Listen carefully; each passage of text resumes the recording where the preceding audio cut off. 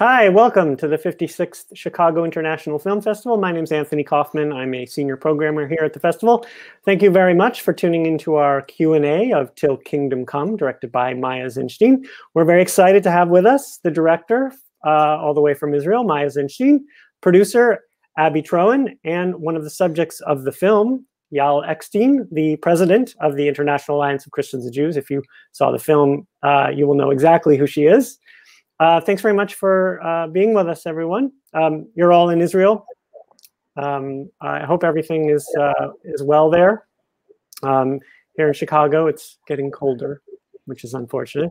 Um, so, if people have questions uh, for any of uh, uh, the folks here, you can insert those questions, and we'll try and weave them into the discussion. So, feel free to um, ask your questions, and we'll we'll get to them at some point. So let's let's talk uh, about the film. Um, uh, Maya, it's nice to see you again. You were here at the festival a few years ago with your film uh, Forever Pure, um, and yeah, we're excited to have the international premiere of Til Kingdom Come. So, um, what's so fascinating about the film? There's such a complexity to the issues involved here, and I thought we should we should really kick off and address the the main it's kind of the main one of the main questions of the film. And I saw just today Pat Robertson declared that Trump was going to win the election, and and part of that um, uh, win was going to be a kind of end times prophecy, um, and that was going to we were going to see the the end of Israel um, and some of the things that the, the film discusses. And I, I guess I wanted to address this question, and for you, Maya, first of all, how you thought of that that um, dichotomy, let's say, uh, that paradox, as Yael says in the film. Um, and then Yael, how you sort of deal with that paradox or the elephant in the room, as you say, of, of you know the Christians group supporting Israel, and yet at the same time there's this apocalyptic prophecy that obviously doesn't doesn't bode well for um, Jewish people. So Maya. So thank you very much, Anthony. It's really great to be again in the Chicago Film Festival. I wish I could be in Chicago. I love this city. Uh, but I hope with my next film uh, to actually be able to, to, to go back. Um, so you decided to start uh, from the elephant in the room, which is always good to start from the big from the big issues. Um, I think you know when when I started the the research uh, for this film, of course, this question is kind of raises. This is one of the first things that you read about once you start to, to kind of exploring this this topic. And and you know, and yes, the, the, the prophecy is not really great for us. Uh, basically, for those who are not uh, really familiar with that. Um, so it would say that uh, at the end of times when uh, uh, Jesus returns, so uh, two thirds of the Jews will um, die and one third will convert. But for me, to be honest, what were much more concerning is not only the end of this uh, process, but also uh, the way that we're having towards the end. Uh, because you know, you know, I'm I'm a secular person, so um, I really, to be honest, uh, don't really care if people think that I'm going to hell, even though that's like not really nice feeling. Uh, but but the thing for me, as as an especially as an Israeli, the biggest question was what actually they think should happen to us before the end. Um, and and and there, you know, you go to these big questions about, and, and I think that the pastors in the film, and it was a huge goal for me to actually that this issue won't be addressed by, you know, some um, professed theological professor or something like that. Actually, been told by pastors that has huge congregations behind them. Um, and and basically, the, what is concerns me the most is the fact that in their in their faith uh, there is a, a big um, part that uh, says that you know there will be a big trouble in Israel, a tribulation, how they call it, and and then it, it raises a question for myself again as an Israeli, um, how we are cooperating and actually um, working with people and letting them influence our uh, present and future, uh, and how we do it with people that also believe that that violence is, is part of the prophecy. And and to be and that's what concerns me the most you know? My i have a brother that will go that in the in the reserve forces of the idf in a special unit. The next war he will going to fight it just as he fought the previous ones and and i have you know very personal concern about in the name of whom is going to fight these wars.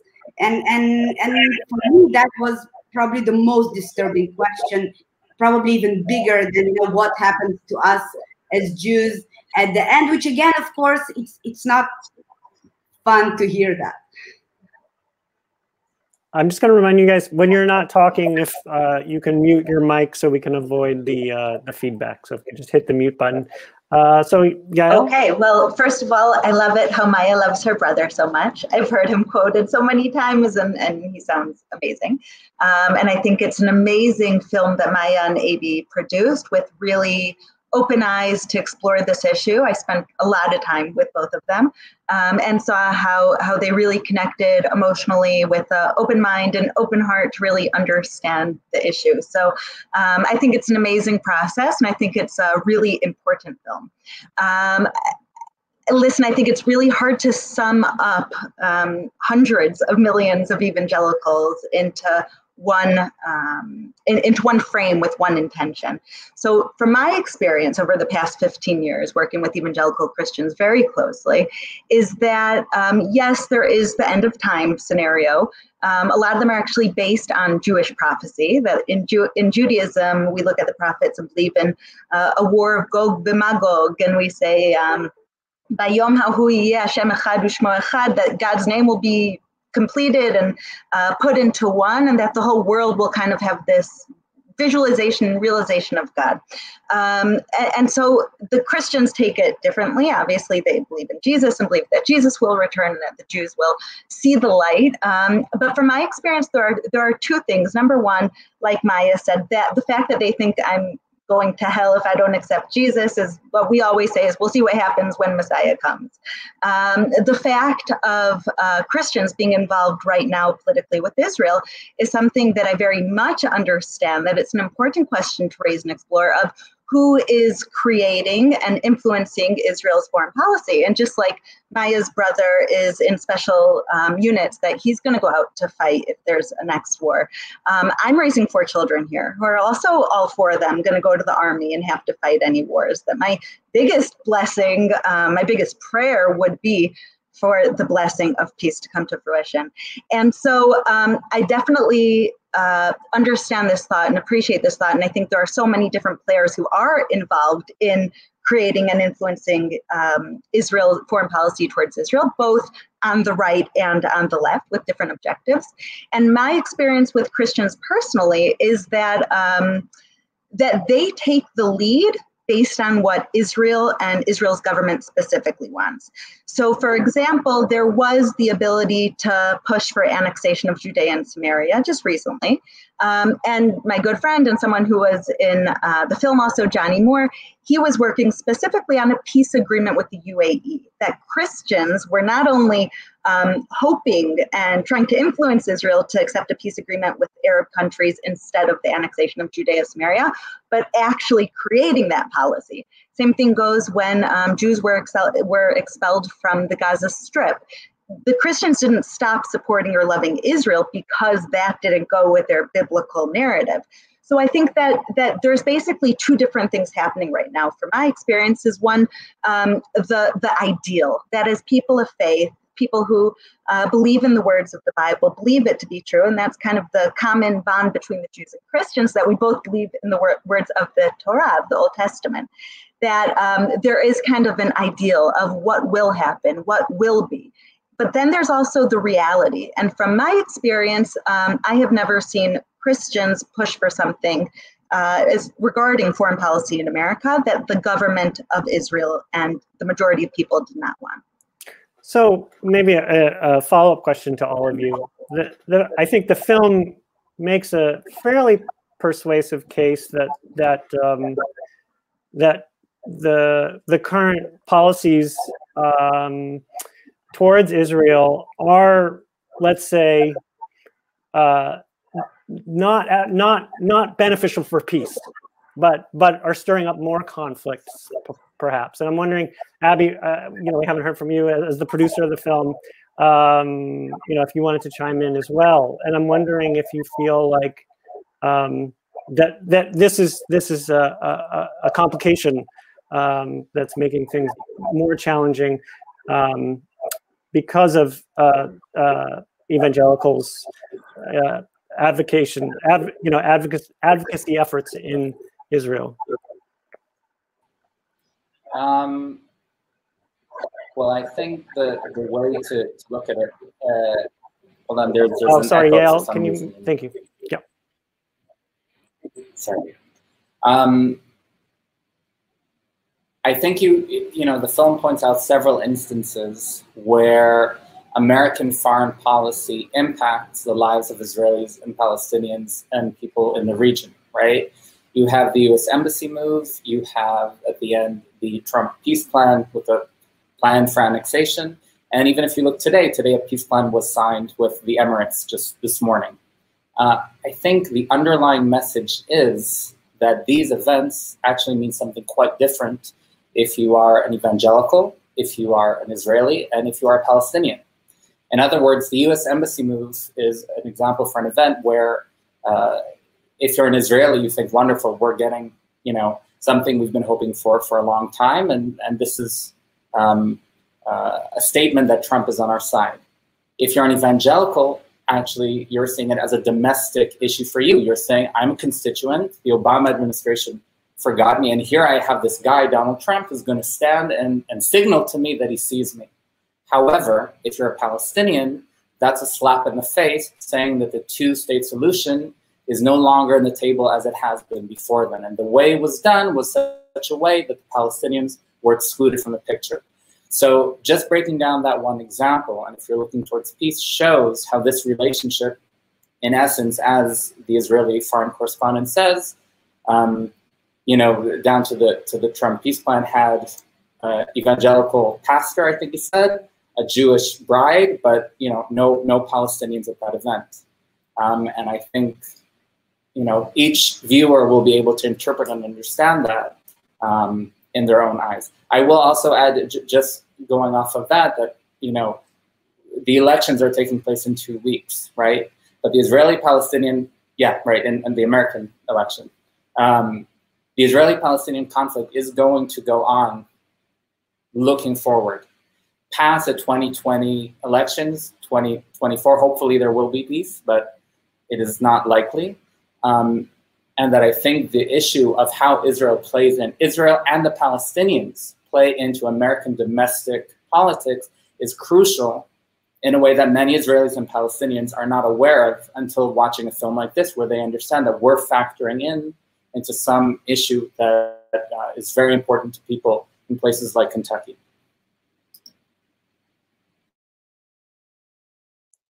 Anyone want to add? I want to, yeah, I want to add something something additional. There's another event in the in political event in the film that we are uh, showing, which basically shows how uh, um, uh, the the event of Christians United for Israel uh, basically going and sending their people to uh, go and lobby against um, the American aid for uh, Palestinians. And that's something, just as an example, you know, that's idea, that idea was the security uh, community in, in Israel was really against it because the security community in Israel understands that the last thing that Israel needs is a humanitarian crisis on their border.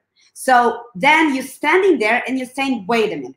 So you have Christian evangelicals pushing an agenda that the security community in Israel is saying, no, we don't need it. We don't want this. And then in the film, you literally see action, reaction. You see how these 5,000 Christian evangelicals go into the Capitol Hill. First, they've been taught how to speak against uh, uh, how what to say, and then they basically sent to the Capitol Hill. And a month later, Trump is cutting the cutting the aid, and that's a great example. That and it's really funny because a half year later, Benjamin Netanyahu, our prime minister, actually asked Trump to give this aid back because, again, all the security community here understand that this is really, really bad, and and and and and Trump said no. I cut it and like it's a done deal. So that's a great example. And, and, and it also refers to what Yael says that basically the evangelicals are doing what Israel is, is asking them to do. And I think the Christian evangelicals are following a very specific right wing policy and supporting it. And that's not the whole Israel. There's many opinions here. There's also people that believe that, you know, that that we should not uh, hold the West Bank and etc. etc. So yes, I do think when we're talking about support, you know, support is a it's not an objective term it's a subjective term because I do think that these uh, policies that uh, Christian evangelicals are trying to promote, uh, many Israelis will not agree with them and they won't see it as a support. They will see it actually as a very disturbing intervention into our internal issues with the, the Palestinians that live in our borders. We don't have to get into a debate, but Yael, do you, did you want to respond, or I can move on to another question. Um, I'll, I'll say something quickly. I, th- I think in any democracy, Israel's a democracy, and you have right wing and you have left wing, that no matter what people are going to want on one side, and foreign policy, we're also interconnected these days.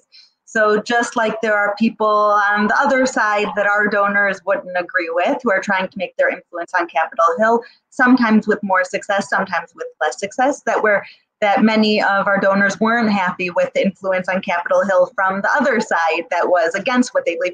That that's what happens in a democracy. That sometimes you are happy. Everyone's always trying to push their agenda. Sometimes you're happy with it. Sometimes you're not. Right now we have two right-wing governments. That this is just kind of the influence that um, we've seen, whether connected to policy, like Maya said, whether connected to religious beliefs, what whatever it's uh, the source is. I mean, it's not only evangelicals; it's all. We live in a very politically heated time. The last thing that I would want to point out, though, um, is that the fellowship, actually, the organization that I represent, we are not directly involved in politics at all. So, um, first of all, we don't have programs specifically for Judea and Samaria. We are the largest funders of non Jews in Israel Arabs, Bedouins, Druze. In the past 10 years, we've donated over $20 million to those communities. Um, this year, we have programs over $2.5 million specifically for Arab, Bedouin, Druze, Christians in Israel. Um, and so we go, we work according to criteria, and we're a humanitarian organization. We don't distribute our aid according to religion or location. And so um, while our donors might and are feel very passionately about Israel, and, and that sometimes represents himself in uh, political support for Israel also, which I personally, you know, have my own opinions on. I think it's a good thing, but the fellowship um, in no way, in no way, in no way pushes. We've never told our donors who to vote for. We always get, for example, around the, especially now in this politically heated time, we get uh, letters saying who should we vote for? Who will be better for Israel? And we don't answer that. No one knows, not my staff, not my donors, who I personally vote for. That um, while support for Israel in and of itself could be viewed as a very political statement, uh, we keep it humanitarian and we keep it very um, professionally distributed, that humanitarian aid according to criteria and not location or religion. So I'm, you know, you guys are obviously very different people. Um, Maya admitted to being secular person. Um, I'm curious as to how the the relationship between the two of you developed to make this film and to give the access, uh, Yael, that Maya has to you. So I, I feel like, you know, there's obviously, yeah, you're coming from different perspectives, um, and yet um, you know you're talking to each other. So how how did that uh, how did that initial discussion happen maya? And how did how did how did the continuing discussions happen? Because some of those conversations in the film strike me as a tad uncomfortable. So yeah i will start but please feel uh, free to jump in whenever you feel uh, that it's that it's the time. so actually, I started the the conversation with the Rabbi Yechiel Eckstein Zal, Yael's dad, Um, it was very now I, I started the research and and as a research you just kind of mapping all the players uh, that you have within this bond.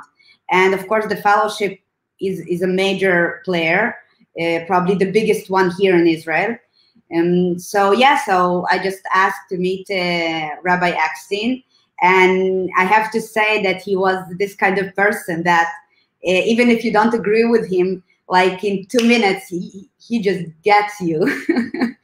Um, and and it was it was a wonderful meeting. And and i wasn't sure if it yeah if where it will go. Um, but then it just we, can ab and i decided to to go and, and start our research actually on the ground in the united states and the fellowship uh, had this uh, huge uh, annual event in mar-a-lago uh, in Trump's home, uh, which uh, never made it into the film. It's like the things that you film and and and dying on the in the edit room. um, and and Yael and I met, and it was and, and there started this conversation. It was really interesting because I was constantly going to kind of to Rabbi Eckstein because he was you know he's the person that that established it, and he was constantly telling me, no, no, no, you should go to Yael, and and he you know, and it's, you know, I have goosebumps when I'm thinking about this. Every time it's like almost he knew, uh, you know, that he won't be there uh, um, to kind of to finish with us uh, this film. Um, so this relationship kind of evolved, and, and, and at some point I thought that it actually can be really interesting also because we had these conversations with the Ellen. It was very clear and she's a young woman and i always uh, would happy to have uh, young woman uh, characters that's always good um, and and and it, it was very clear for me that there's also this angle of kind of the legacy that you're having from your father and you're taking it forward and and i we saw this uh, very interesting comparison that we can create between her and pastor boyd so so at some point it almost um, naturally, you know, moved and and and, and concentrated on Yael. Um, and Yael, you want to continue because I feel that you need to participate in this conversation as well. Well, I do lots of interviews, but I'm also very protective a little bit of my of my personal life and and of I am very committed to the organization and not you know so much to brand awareness or things like that um, and so i remember the first time i met maya and ab were at a hotel in florida and Maya missed her flight and was running really late. And AB showed up and was begging me and my father to stay. And my father kept saying, "Just interview Yael, just interview Yael." Um, and it was just a regular interview. If I w- if she would have told me then, Yael, we're following you for the next two and a half years through the most emotional and crazy time of your life, I would have said, no way. But she's very, very smart, this Maya Zinshtein. And after the interview, she's just like, oh, you spoke about this. Could we just come see it? Oh, sure. Before I know it, they're following me everywhere I go. And we are in some of the most ridiculous situations in the world together. And, um, and I simply fell in love with both of them and, and loved having them follow me around. And, and I really developed this trust and a appreciation um, for what they were doing, even though I didn't really know what it was. But I felt like it was something important that even if I didn't fully agree with, was an important message to get out. Uh, there's actually a qu- question from the audience that I, I wanted to. I was going to wait to ask this question to the end of the conversation, but since you said that, Yael, it makes me think like what what is the message that you each take away from the film? Because I uh, you know, Yael, you say it's an important message. I'm sure Maya thinks it's an important message. She made the film. Um, uh, what what someone asked, what what do you hope a viewer takes away from watching this film? And I think you guys can both get, all three can answer that. I'm gonna let Maya yeah. answer that one. Um, you know, I had this moment um, when we filmed in Christians United for Israel uh, in the in the sum, in the summit and it was it was quite in the beginning you know i was it i haven't met many evangelicals before we filmed there so it was every conversation was really eye-opening for me. And and i had this chance opportunity to speak with a few uh, young um, uh, volunteers that in this in this event. And and i started this conversation with them and it was really after we saw this event when they sent you know the, they sent their people to advocate against um, the american aid. And i was telling them and saying them listen guys but like you're sitting here in washington d.c and you're pushing for something that our security community are not happy with it.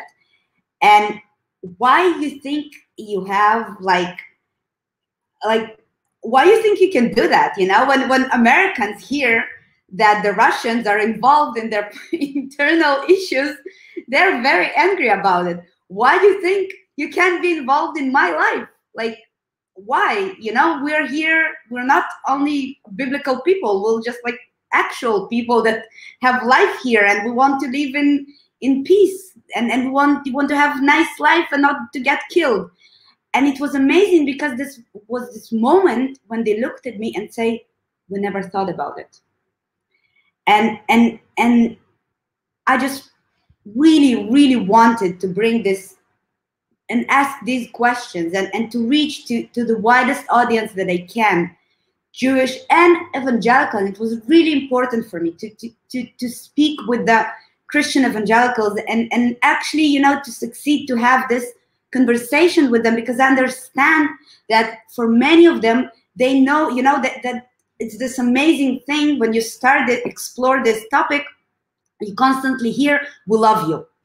And and it's a strange feeling when someone just tells you, I just love you, and you want to tell him, but you don't know me. Like why you love me and and and what it actually means that you love me and i was i was always saying that i'm making a film about love um, so, so for, for myself, I just wanted that, that these that also the Jewish community and the Christian evangelical community and the Israel and the Israeli people will look at that and have an opportunity to actually look in, in depth into this into this topic because I think it's really known kind of really in the surface, not not not for real, and to question themselves these questions that that I asked myself.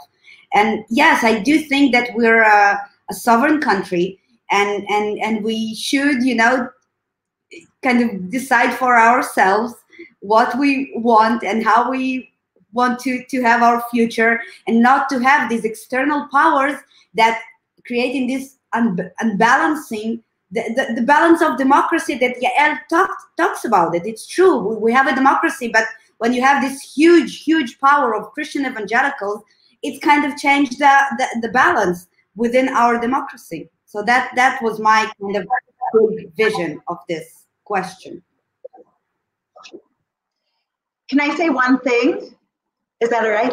So specifically about the UNRWA um, uh, example that, that Maya gives and that's in the film, I think that's something that's also important to remember because it's a great example, is there are some things that only affect Israel and there are some things that really affect American foreign policy as well.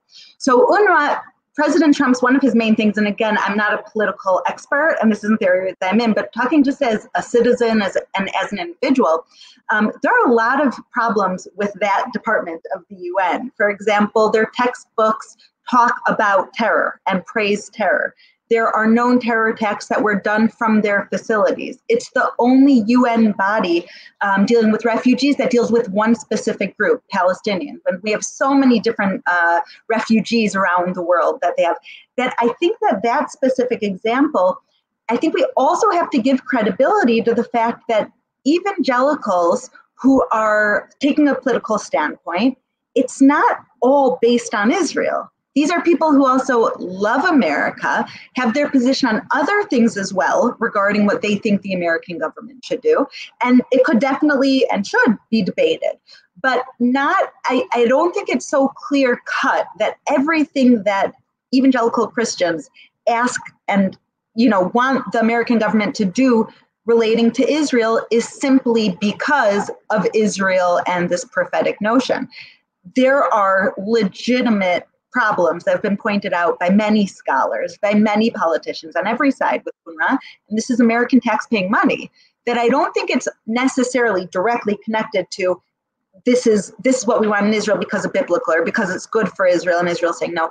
I think that these evangelical Christians, however we group them together, tens of millions of them, also have their own position. They have their own thoughts. They have the, their own intellectual uh, system of getting to what they want and think is best for American tax dollars and, and policy. That I don't think it's as um, simple as what's best for Israel, what's um, what does Israel want, and what's prophetic. I think there are a lot of national American considerations that go into it as well. For example, Israel being the greatest ally America has in the Middle East. Um, that comes into play. It's not only Israel the biblical. These are very, um, these are people who love America just like they love Israel. So I just wanted to point that out as well when we're having that that conversation. But it does seem it does seem hard to separate. I'm just wondering if if you I, I, yeah if you all comment. It does seem hard to separate the the evangelicals who have political power from the fact that they're evangelicals who do seem to you know uh, espouse you know uh, end times prophecy and and that being I mean one of the advisors says explicitly that he does see uh, politics through a lens of of biblical prophecy. So I, I it's interesting because it what you said, yeah, makes so much sense to me, and yet there are also evangelicals who are doing things because of the evangelical cause. So I, it's it's very complicated to me. I, don't, I um, but yeah, yeah. Well, seeing the lens through biblical prophecy also could mean after the fact, looking back at situations, not necessarily looking at the words of the Bible and feeling a personal and a, a, personal mission to have to push politically to bring those words to fruition. A lot of times I see history through biblical eyes as well. I mean, I come from 11 generations in Jerusalem, and uh, my father was the first generation born outside of Jerusalem. And I came back to Israel and have four children born here. That I look through these things also as a Jewish person through, as Maya and Abie know, because it's the way I interpret everything is through prophetic and spiritual eyes. So I think there there um, not something by definition wrong with um, with looking at the world through spiritual eyes. I think gives a lot of hope, a lot of comfort. But to create policies based on simply those um, exact understanding of biblical words and believing that it's not what's in the best interest of any country, I don't agree with. Um, okay, um, so we have some more questions from the audience. Uh, I thought we could get in. Um, for the filmmakers, someone asked, uh, I'll kind of boil it down, but when you're in situations with people who maybe don't share your views, right? Were there any times where you felt um, uncomfortable or, um, I mean, yeah, unwelcome? I mean, it's funny because you, you, you know, uh, in Kentucky, for instance, you it seems like you have a somewhat playful relationship with them. Um, uh, well, it's a little bit antagonistic, but never to the point of threatening. But the question was, you know, how did you deal with that? Uh, Abie, you, you take it. I think, um, and this goes actually to the question that you asked earlier about the message of the film. Um, you know, there are many ways to tackle the issue of evangelical Jewish relations. And because it sits on so many questions, whether it's about the boundaries of church, church and state, whether it has to do with uh, the growing power of religion in Western democracies, it has to do with theological paradoxes. There are many, many issues that could be tackled. But I think one of the important things that this was key from the moment we started and until the, you know, where we're now, where people are watching the movie was that um, we wanted to give a human face or human faces to issues that otherwise are blanket political statements. And people can view their own opinion. Yael just stated and articulated her um, what she believes in. And someone might see that and think, oh, this is dangerous to America. And someone might see it and say, this is exactly the direction as God sees it that Israel and America should go forward with. That in and of itself is a value and is a message. And I think, again, two weeks before the elections, people who live in places like New York or Los Angeles and have never set foot in Kentucky need to have uh, uh, an image of why decisions are being made. It's not because people are uninformed, it is because this is what people really believe in. Now, to answer your current question what did it feel like in Kentucky, that value that we were, I see both of you smiling in and my, um, I was also producer and cinematographer of the film. So often, you know, Maya and I were in very, very intimate situations with all the characters. And the moment um, both the cameras were on and when we shut them off, I think there is something, uh, I think the word is intimate. Again, as a goal was really to understand what makes these pe people tick. And, um, you know, whether an audience member, as I said, will think that this is fundamentalism and dangerous, or whether they will think that it is wonderful, we wanted to get as close as possible and bring that picture back for, for viewers.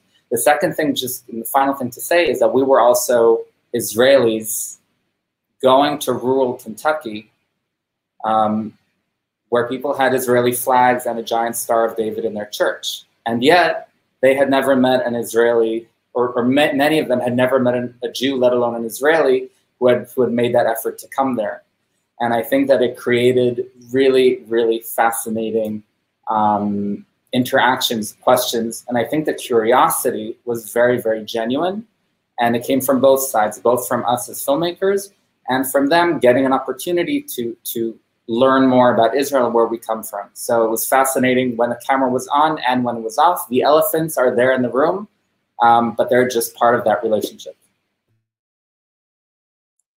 Maya, anything to add? Yeah. Yeah, I, I want to say that that for myself, and it's the second film that I'm going kind of to say to the other side, right? I'm not filming um, my community. I'm not filming my, you know, the, the, the people that's that around me, and and yeah, I and for myself, it's constantly being the other in the situation. And again, as an as an immigrant, I think it may be something that I really get used to. you know, I, am I'm, I'm the other since I'm 10 when I came to Israel from Russia. Um, and, but also for me, and, and I think it's really good for your, you as a filmmaker uh, um, to be not connected. I will just give you a small example, which I'm sure that all our American audience will understand what I'm talking about. So, for example, Boyd and all the people in, in Kentucky, they have quite a heavy uh, Southern accent. And for myself, I can hear that they have an accent, but they have zero uh, opinion on it. I, you know, I don't put in them in any box just because I don't know these boxes. You know, I'm, I'm, I'm living in other boxes, and and on the other hand, they cannot put me in any box. So I think that's a fair uh, uh, conversation when both sides are not putting each other into a box and then then they can start as a clean table you know clean page and and and and actually be as human beings and and actually be you know and and on that to start and and and create this uh, this this relationship. And i think from my for myself it was the same with the l you know i people many times asking me also about forever pure and with this one how you could go and film these people. And i'm and uh, like don't you hate them? And i'm saying first of all you don't want to spend three years of your life with someone that you hate. And that's what you do when you making a film. You, you spend in your years of your life with these people. So it's better for you that you won't hate them because that sounds like a nightmare to me. And and i just as a person I, I don't hate people not for their views and not for I, I just allow i hope that i'm allowing them to to to to tell them to tell me themselves um, and i hope that I, that I succeed to see them. You know i, I, I remember that um, one of Yael and you know we had conversations and Yael she's a very smart woman and she understands exactly that I'm not uh, coming to make an infomercial about the fellowship. And, and and I totally understand that that was a matter of concern for her through these years what will come out of this you know? And and and i understand it and i think it's very difficult and i actually really appreciate that she was brave enough to let us to do this because i think like yeah it, it's a big thing and and we're really really close with her in, in many very personal situations. Um, and i remember she asked me a very smart question. She asked me what do you want me to think uh, when i will watch the film? And i answered her I want you to feel that I saw you. um, and that's the thing you know i'm trying to see these people and and then then when they will watch the film they will say oh yeah that's me. Like they won't say who's this person that on the screen and once you succeed in that your characters and yet i'm sorry i'm calling you a character but you, you are but, but, but, but when your characters are actually watching the film and, and, and seeing a reflection that they recognize then they will come out of the film and say, yeah, it's fine. Maybe I'm not agree with everything, but that's actually me out there. It was a long answer for a short question. Yeah, um, I I could keep asking lots of questions, um, but um, okay. Uh, all right, I, I do have a question. One more question, and then one more last question from the audience, and then we can stop.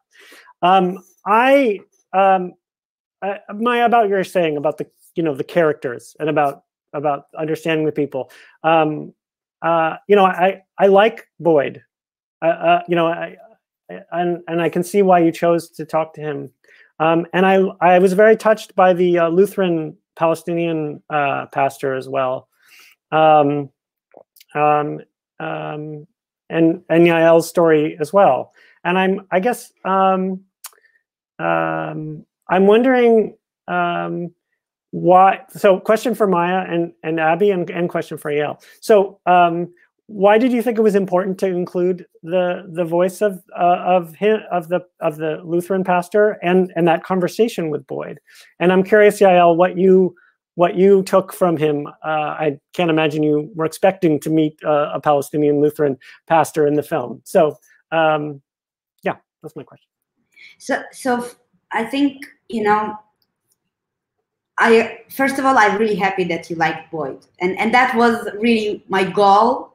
Uh, uh, I wanted people to like him. I wanted people from New York that will usually, you know, he will represent for them everything that they hate.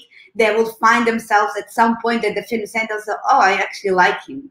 That's like for me. That was I like to messing with my audiences heads you know that that's exactly the complexity that i'm interested in um, um, and you know and boyd and for me i think one of the processes sometimes is that you go in with your characters and you really uh, love them. And and and sometimes you hope that you know that there will be that they will do something that you will say yes like that that happened. And for me the fact you know boyd really suffered in his life. He almost died in the age of 21 and i think this really really allows him to to has to have such a huge big heart and and I, we saw what he and we filmed what he does you know in the community for the kid that for the unfortunate kids and how he helps them and for me, I really wanted that, you know, and, and, and really wanted to see how would be his reaction uh, um, to Palestinians. Because, you know, and, and not by accident, of course, you know, he goes to, to, to Bethlehem and he says there, what was the, the greatest commandment? Uh, love your neighbor as yourself. Jesus taught us to love. And then he goes there and he just don't see it and i he really broke my heart in this scene that's the truth like i was really hoping that at that moment he will succeed to see beyond the politics and and as my as the script writer mark monroe said maya people are changed people get changed only in hollywood films. They never change in documentaries. Yeah because because usually people not get getting changed you know? And and so for me that was i really wanted him to sit there you know? And and, and i understand the, the differences between the lutheran pastor and the evangelical. I totally get it but the bottom line is that there's two pastors young smart uh, people sitting in front of each other. And one of them is just don't see uh, how wrong the situation that the other is into it. And you know and and and and in a way that's what we see. It's a kind of politicization of the religion you know when we love someone but we love someone that is going together with our political views. And that's like something that is very very wrong for me because and and, and i really was kind of sure and again i need to be sometimes naive otherwise you can't uh, do this stuff. I, I, really thought that he will that he will you know be express um, understanding or, or something to him. So for me this is one of the most amazing things uh, in in the film because you just yeah. You see everything there the indoctrination that like and, and and and in a way how sometimes people just can't see what they what happens in front of their eyes because of of they been educated and indoctrinated in a certain uh, worldview. And did you do you feel that way? No sorry Abie. Uh, do, you want me to answer? Go ahead, Yael, and then we'll go to. I, I look at it very different, and I think the starting point comes from your personal position and the eyes that you see the conflict from. That Maya was hoping that ultimately, because she loves Boyd, that he would come to see it through her eyes, which I totally get. That's how we all are. That we see something in a certain way, and we want people we love and respect to see it through our eyes because we all, and that's that's the whole defining I think, characteristic of this conflict. We all think we're right, and not just right, but that there's so much complexities to it. And so when I saw that part, was very interesting to me as well. And, and my first thought was, oh my gosh, Maya's a genius. and then she brought him to meet it. I loved it. But what, what that part was so powerful to me was actually, it's, it's funny, I, I was smiling when Maya was talking because I took the polar opposite out of it. What I took was, you could love somebody without agreeing with them. You could love someone and have a heart for their suffering without saying, this is the cause of their suffering.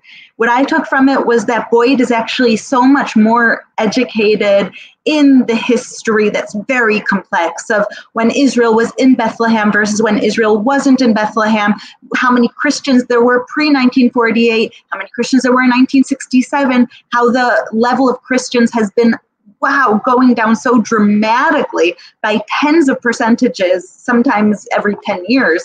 Um, and, and so I think the question goes back to whose responsibility is that? And that's what all of the politics in this region go back to. Are the Christians in Bethlehem dwindling and leaving because of, as the pastor there simply said, the Israeli oppression? Or is it or is it not? Or is it because they're not treated being fairly? I'm just raising questions, but that sh- to show that the fact that somebody's suffering, I always say, for example, about Gaza, I always say the people, the Palestinians in Gaza are suffering. Yes, I have a heart for them. I love them. I hope that they have food and I hope that they have a good life and I hope that they have freedom. But the question doesn't go back to do I love them? Do I believe in that? And it comes down to whose responsibility is it and what's stopping that. And in my eyes, what I say is free Gaza from Hamas. Um, and so I think that's where the complexity comes in. The same situation, a similar situation when Pastor Boyd met the pastor in Bethlehem, that he was an amazing man who was very articulate and very sweet. And I connected to him and I felt for him and I loved him. And the question goes down to are Christians in Bethlehem suffering? Yes. Nobody's going to say that they're not. How do we fix that? And that's where the problem comes in. Um, there's no clear answer. And what I took from it was Boyd does know the situation. He does have his opinions, and they're very strong. And I like to see that they weren't just going to be tr- changed based on an emotion, but that he has very concrete, both religious and political. You see on his desk at one point that he's reading all about the War of 1967. He's reading about, I mean, this isn't, even, even though he has the accent that it's easy to stereotype him, like Maya said, this isn't an idiot that you're talking about. He's very educated. He's very, he knows Israel and the history and the people and the leaders. That it actually made me see how, how strong he was in his knowledge and his belief, both spiritual but also political, that he wasn't swayed from his whole worldview by meeting somebody face to face. Uh, Abie, yeah. So, first of all, Anthony, it was great to see you smiling earlier when the two of them were speaking. And again, I think, um, you know, that is exactly the kind of thing that, that, that we're hoping for, is that someone like Pastor Boyd will, you know, create empathy and yet a very rich and profound conversation with people who believe very, very different things. Um, I think I wanted to just to, to speak to the Palestinian pastor, which is to say that there's another elephant who is not in the room, uh, and that is the Palestinian elephant. In other words, that the film, any film that you do about uh, uh, Israel and the Palestinians, and yet you don't have, you know, it's like the start of a joke, a Jew, a Christian, and a Muslim, you know, try to make peace or not, or there's no Muslim representation in the film.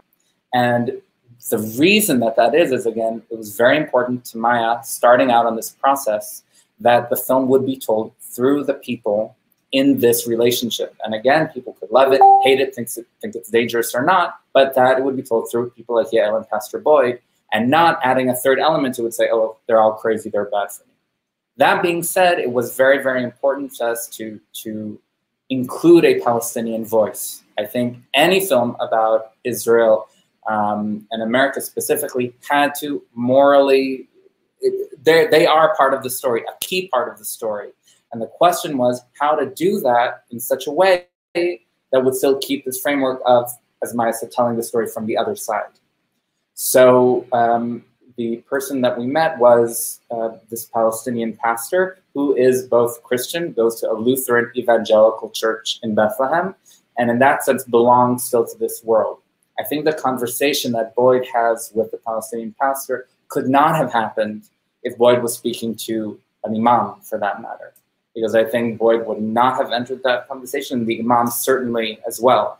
Here, the, the paradox gets twisted one level deeper when you have two pastors who clearly share the belief in the same Jesus, and the question is, where do they share things in common, and where will politics actually take religion and tear them apart? Okay, we have to wrap up. Um, but um, like I said, I could talk about this all day. Uh, last question someone from the audience asked, why did you choose to end the film with such a controversial quote, Maya, from the pastor? And it's, it seems as, you know, obviously it's directed at you, but then it's also directed at, at your audience.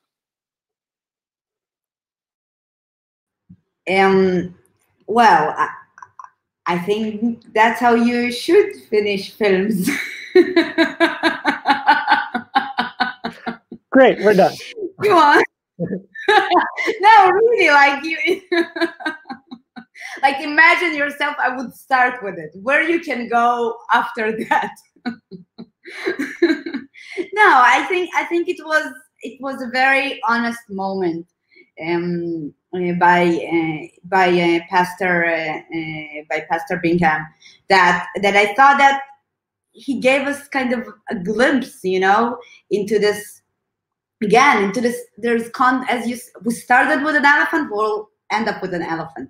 So i think there's this elephant that constantly people are walking around it in in in in so many levels. It's like so many elephants that people saying yeah just let's not go there or let's not and there it was this moment when he was again honest enough to just look into into the elephant's eyes and say just that's the elephant you know? So so, so and again I, I really appreciate honest honesty and i appreciate when the characters are honest because i think you know that's why we're that's why we do what we do. We want people that actually share their actual beliefs and and and and and then people will watch it and think about it and take something from it maybe the totally opposite of what i said here or maybe they will agree with me. It doesn't matter, but at least it will create some thinking. So uh, on the filmmaking level, of course, I want to finish on the like on the highest on the highest point. Uh, but also there, I think this it's a very important moment uh, when this when you get in this kind of glimpse into this in, into the elephant's eyes. I hope I, I didn't ruin totally the, all the elephant image by using it too much. I, I, think I started. I said it too many times too. Well, um, we're gonna get messages from the SPCA, but um, um uh, what elephant? We're all yeah. elephants created fairly in the making of this film. Um, thank you, Maya. Thank you, Abie. Thank you, Yael, for taking the time to join us. Um, really appreciate. Um, thank you. Yeah, thanks so much. Nice to see you all, and stay safe in Israel. Bye bye. Stay safe in Chicago and have a wonderful festival. Thank you so much. Nice to see you all. Bye bye. Thank you.